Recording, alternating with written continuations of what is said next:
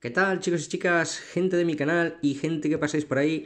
Hoy os traigo un unboxing de un teléfono, un smartphone de BQ. Se trata del BQ Aquaris C, así que vamos con el unboxing y la preview.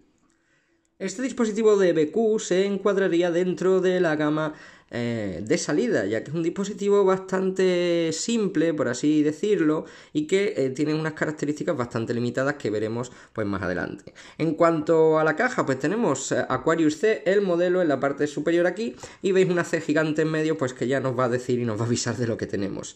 En la parte inferior tenemos la capacidad 16 GB de almacenamiento y 2 GB de memoria RAM, la marca BQ, en la parte inferior BQ, parte izquierda Aquarius C y lo que supongo que puede ser el color. En la parte derecha no tenemos nada, aparte de BQ, y en la parte superior las eh, gotitas eh, de, su, de su signo, de su símbolo, y en la parte inferior, o más bien trasera, vamos a tener algunas de las especificaciones que podemos ampliar un poco para echarle un ojo, creo que he ampliado demasiado para ver pues más o menos lo que tiene, de todas maneras ya lo veremos más adelante, veis que eh, tiene eh, la cámara eh, trasera, el lector de huellas, también la pantalla y aquí tiene pues algunas consideraciones de, de la cámara como su grabación, la cámara de 13 megapíxeles trasera, el cual con el Snapdragon, eh, que tiene GPS, en fin, eh, Bluetooth y todas estas cosillas que vamos a ver más adelante. Y poca cosa más, aquí abajo pues eh, vamos a tener el email, ya que este teléfono es, un, un, unisim, es de solo, de solo una SIM. Tenemos el color negro este en concreto, el navy black.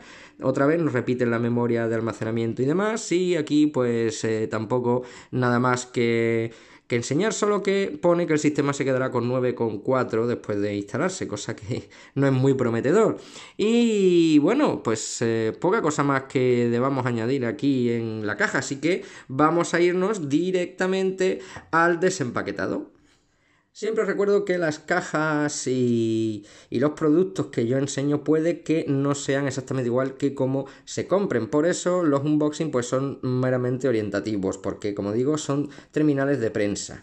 Abrimos la caja y lo primero que nos encontramos evidentemente es el teléfono, pues que lo veremos en la preview evidentemente un poco más adelante. En la caja donde venía apoyado el móvil veis que eh, nos va a traer el eh, pincho extractor así como la documentación del dispositivo que por lo general puede ser la guía de garantía y eh, la guía de usuario este por lo que sea pues solo solo trae aquí la guía, como estáis observando aquí, begu.com, y lo único que trae pues es unas instrucciones y poca cosa más. Yo creo que este será la guía de garantía porque tampoco lo, lo, cuenta. Y aquí el pincho extractor. Lo siguiente que nos encontramos es un cargador USB tipo C, un cargador que eh, cuenta con la tecnología Quickchers 3.0, a ver si ampliamos y se ve mejor, aunque no enfoca ahora, Quickshare 3.0 de Qualcomm, como estáis observando, y aquí tenéis pues los datos de carga y demás que a mucha gente, no sé por qué cosa, pues le interesa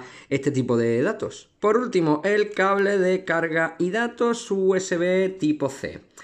No trae nada más, eh, no hay espacio, así que yo diría que este terminal no trae auriculares aunque pues eh, como digo no hay suficiente espacio, veis, esto se queda así, así que igual no tiene auriculares, cosa pues oye, un poco extraña porque casi todos los terminales de, este tipo de gama, o, muchos, para no ser tampoco tan tan alarmista traen auriculares, pero oye, este en particular no lo trae. Así que bueno, esto es todo lo que tiene este dispositivo en su caja. Así que ahora vamos con la preview, es decir, con las características técnicas y físicas del dispositivo.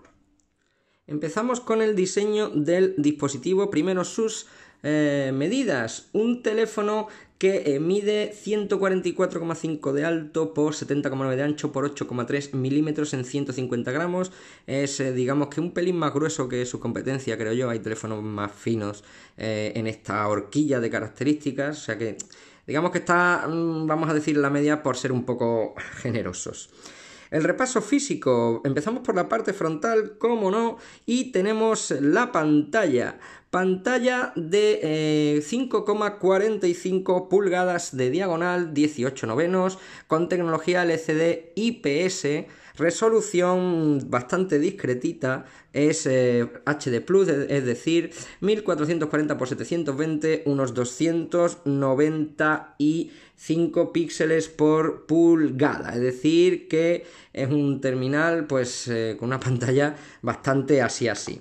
Eh, vemos eh, que el cristal es un pelín curvado, es 2,5D y tampoco encontramos referencia a que sea Cormin Gorilla Glass. Tiene un tratamiento anti-huellas, aunque eso dicen la mayoría de los fabricantes, y tiene eh, la tecnología propietaria Quantum Color Plus y un brillo de 450 nits en las condiciones lumínicas más desfavorables, es decir, pues que tampoco llega, digamos que a la media, muchos ya llegan a los 500, pero bueno, esto ya lo veremos en el análisis, qué tal, eh, qué tal se comporta o no.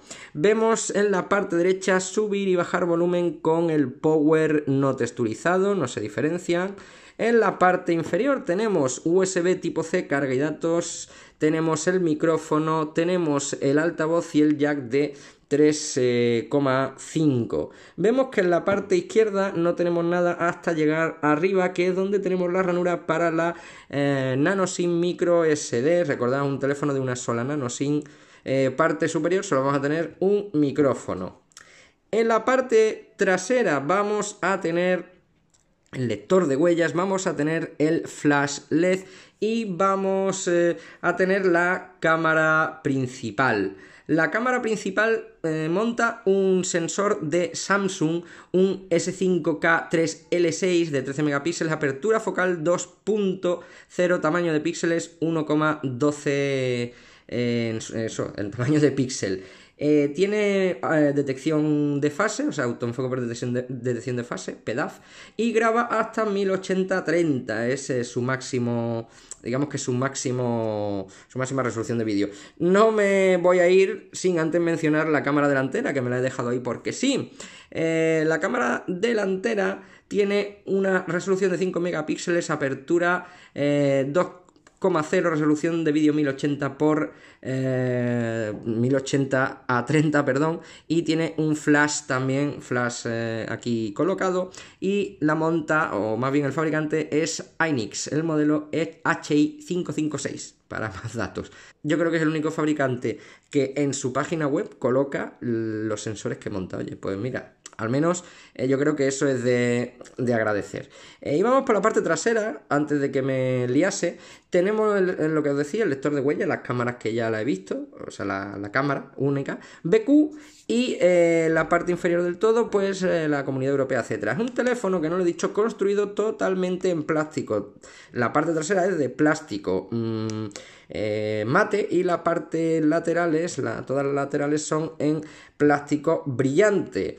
El, teléfono sí que, mm, sí que es verdad que no es muy barato, 150 euros aproximadamente, o sea que, como digo, eh, hay opciones más económicas, pero bueno, siempre hay que hacer análisis y ver, que, y ver pues qué tal va funcionando, porque bueno, en fin, ya sabemos que BQ en los precios tampoco acierta mucho, pero como os contaba, pues ahí siempre yo tengo que analizar de todo. En fin, eh, todo esto lo gobierna Android 8.1 y el SOC de Qualcomm, el Snapdragon 425, que es un quad-core a 1,4 con la GPU con la Adreno 308.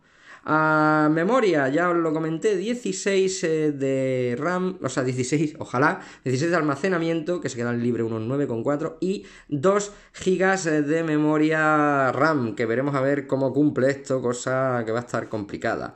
La parte trasera estará la batería, 3000 mAh, hora, con Quick Charge 3.0, que además, pues habéis visto que como incluye el cargador, pues oye, pues esto que nos, que nos llevamos. También comentan en la página, que no se me olvide, audio. Tenemos em, el altavoz eh, Smart PA y también, pues al ser Qualcomm, suele contar con el Qualcomm aptX para Bluetooth, es decir, pues la, la, tecnología de audio de Qualcomm por Bluetooth y también tiene radio FM, que muchos siempre queremos la radio FM, es una cosa que eh, nadie, nadie o nadie de mi generación quizás puede vivir sin ella. Las conexiones tenemos Wi-Fi, ABGN, AC hasta de doble banda. Yo lo dudaría, sinceramente, pero bueno, eso dice la página. Tenemos Bluetooth, Bluetooth 4.2, GPS, GLONASS, NFC y tenemos 4G, eh, en su versión más, más corta, supongo. Eh, tenemos USB tipo C, que ya os lo he comentado, y tenemos pues compatibilidad con, con tarjetas micro, micro SD hasta 256 GB. Y bueno, creo que no me dejo nada más en el tintero. Esto es todo lo que tiene este dispositivo y el que analizaremos en una o dos semanas para ver si cumple las expectativas de algún usuario o no. Eso ya a mí pues no me concierne. Yo me limito a hacer el análisis y las primeras impresiones, las reviews, el unboxing y demás. Así que bueno, yo lo que voy a hacer básicamente es y ver cómo se configura y demás historias y ya os iré contando. Por cierto, el eh, BQ comenta que esta pantalla es también Infinite Display, pero teniendo en cuenta que no tiene notch y que aunque los marcos no sean los más grandes que he visto, tiene alrededor de un 73% de pantalla, o sea que infinita va a ser que no. Así que bueno, dicho ya esto, creo que no me falta nada más, así que bueno, espero que os haya gustado, que os sirva a todos. Un saludo, gracias por estar ahí chicos, chicas, adiós.